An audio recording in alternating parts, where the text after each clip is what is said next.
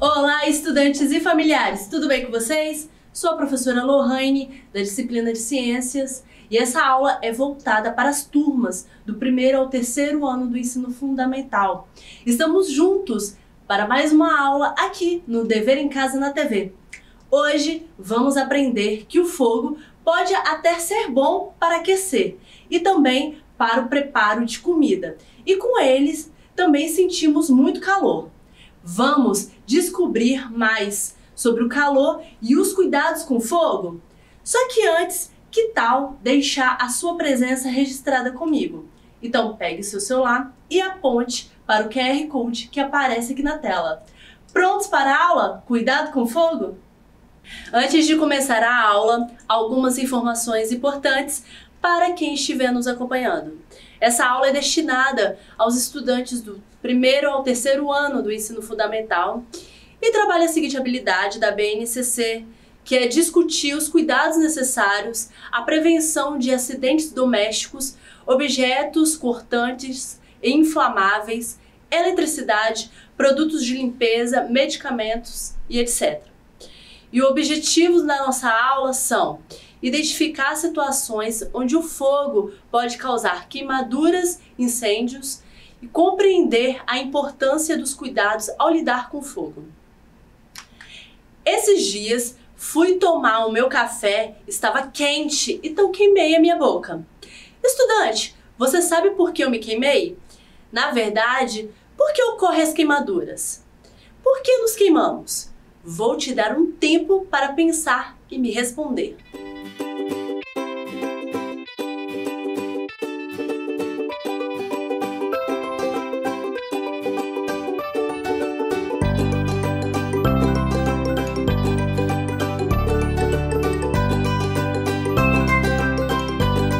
Queimadura ocorre quando entramos em contato com algo que esteja muito quente ou muito frio e também com correntes elétricas.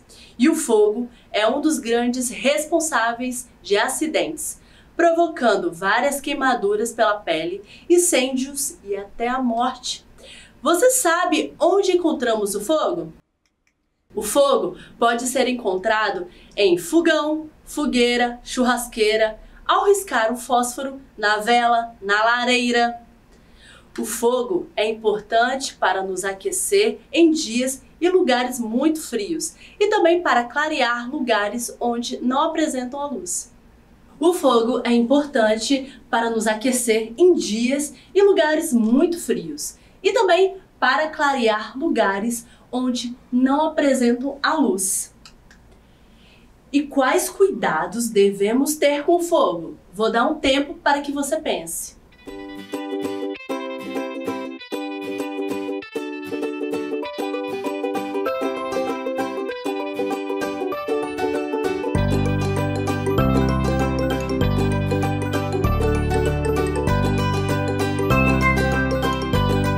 Alguns cuidados que devemos ter, tanto adultos como crianças, são tomar cuidado com o fogão enquanto a comida sendo feitas, não deixar tecidos e panos perto do fogão enquanto estamos cozinhando. Se necessário, acender uma vela, deixá-la em um local seguro e apropriado.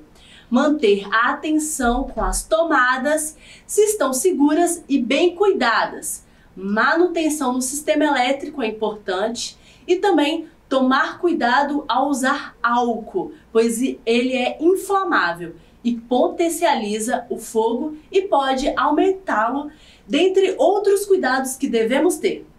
Então, vamos identificar situações a partir disso que eu falei. Imagine que você está em um lugar como esse aqui da imagem e o fogão está com uma panela cheia de comida muito quente e você querendo pegar. Mas a sua altura não é o suficiente para alcançar. O que, que pode acontecer? A comida poderá cair sobre você e isso é muito perigoso. E se caso não souber também usar velas e fósforos, esbarrando ou segurando neles, todo cuidado é pouco, porque pode causar incêndios e queimaduras. E nada de ser curioso ou curiosa ao tentar pegar o ferro de passar roupas ou puxar aquela toalha de mesa. O ferro poderá te queimar ou até mesmo levar um choque. Já se puxar a toalha de mesa, a comida e as panelas e copos poderão cair sobre você. E você sabia que o sol pode causar queimaduras? E o Sol é uma grande bola de fogo. E se ficarmos muito tempo expostos a ele, podemos ficar com alterações de cor e até mesmo surgir bolhas pelo corpo, febre, tudo isso devido ao excesso na exposição ao sol. Então, é muito importante o uso de protetor solar, óculos de sol, sombrinha e boné. Assim como eu falei anteriormente, é importante, ao se expor ao sol, usar protetor solar, óculos de sol, sombrinha e boné, ok? E as festas de final de ano? Sempre tem aqueles barulhos de fogos de artifício. E eles são bem perigosos, porque podem estourar na mão de alguém ou cair em cima de pessoas, carros e casas, além de deixarem os animais muito assustados. E você já viu essas imagens? Essa aqui é um hidrante. Já essa outra é um extintor de incêndio e ela serve para combater incêndios. Assim, onde podemos encontrar o hidrante? Geralmente encontramos o hidrante nas ruas. Já o extintor de incêndio em locais fechados, por exemplo, em prédios, apartamentos. Ah, e ao brincar é sempre bom. Só que soltar balões é perigoso e é considerado um crime. Então, nada de soltar balões. E agora chegou a nossa atividade do dia. Observe as imagens e circule as situações em que pode ocorrer queimaduras ou incêndios. Na primeira imagem temos mexer na panela no fogão. Na segunda, segurar a vela. Na terceira, temos soltar pipa. E na 4, jogar videogame. Vou dar um tempo, observe as imagens e já volto com a resposta.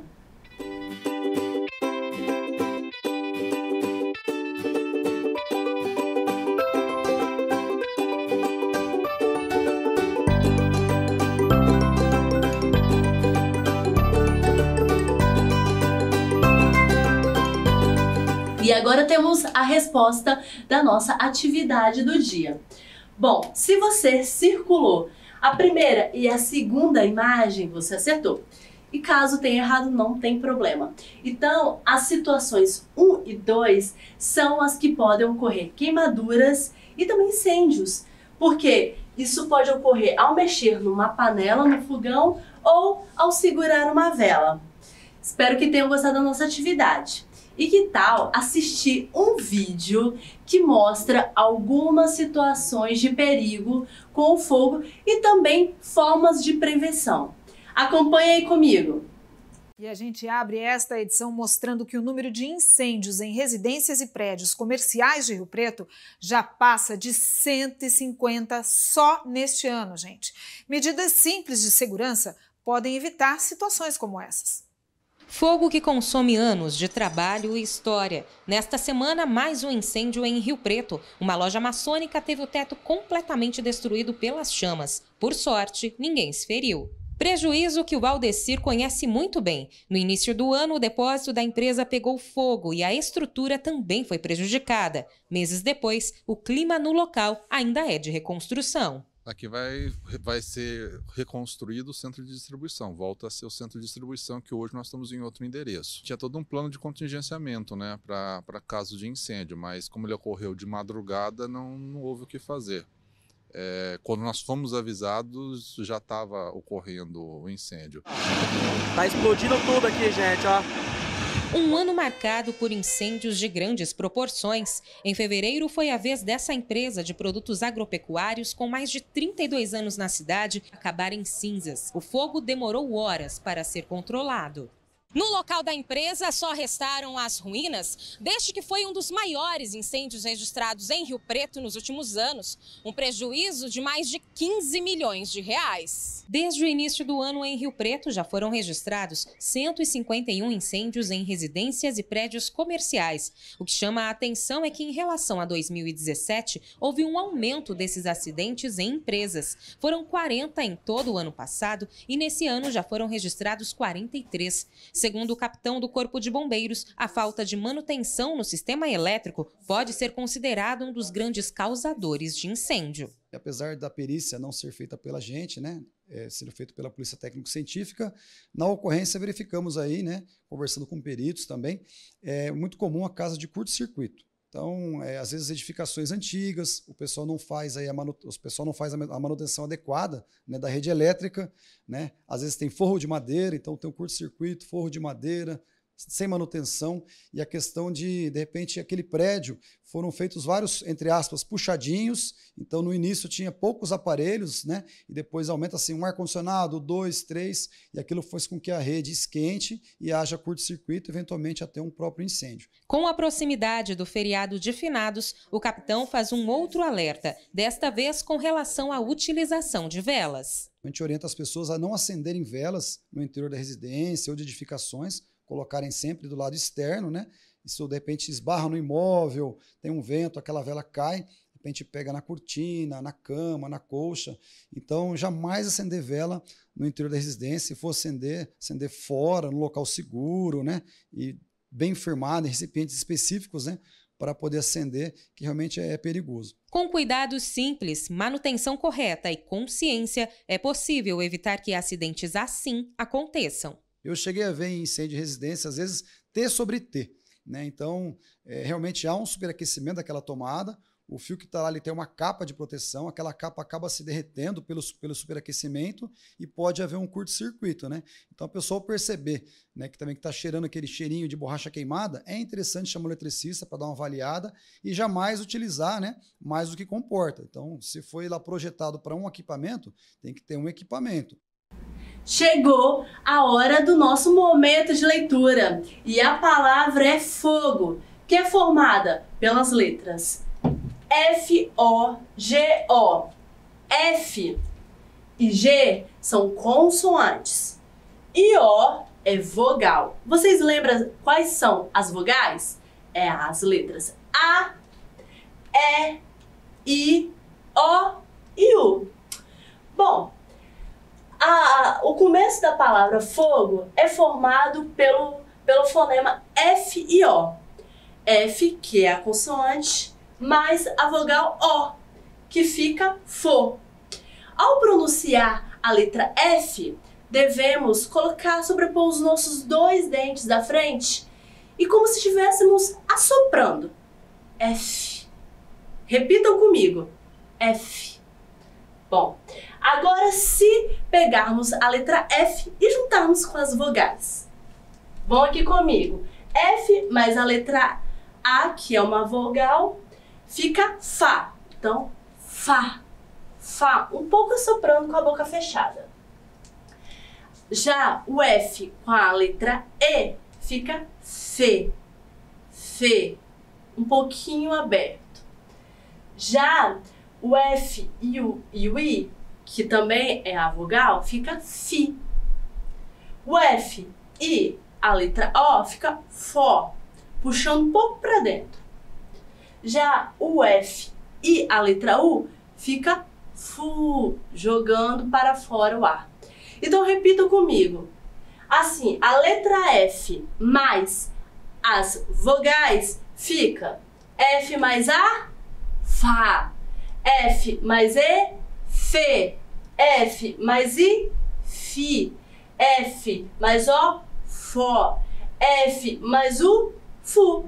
E assim conseguimos formar sílabas, né? Formação de sílaba, mais a formação de palavras, que aí vocês vão aprender ao decorrer das aulas, ou de ciências ou de português.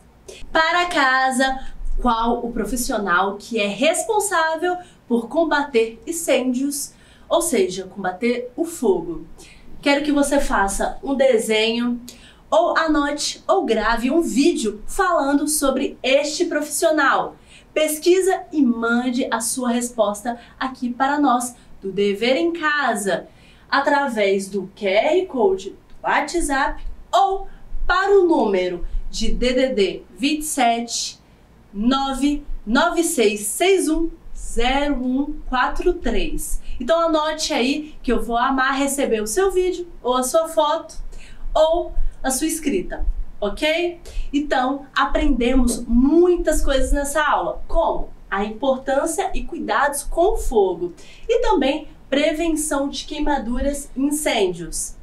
Ah, e não deixe de acompanhar o Dever em Casa na TV nas redes sociais. Siga o nosso Instagram, envie dúvidas e atividades para o WhatsApp, acompanhe o nosso Facebook e visitem o nosso site. No site você consegue assistir às nossas aulas também. Bom, estudantes, essa foi a nossa aula. Cuidado com o fogo. Espero que tenham gostado e aprendido muito. Te espero numa próxima e não se esqueçam que, mesmo distantes, estamos juntos.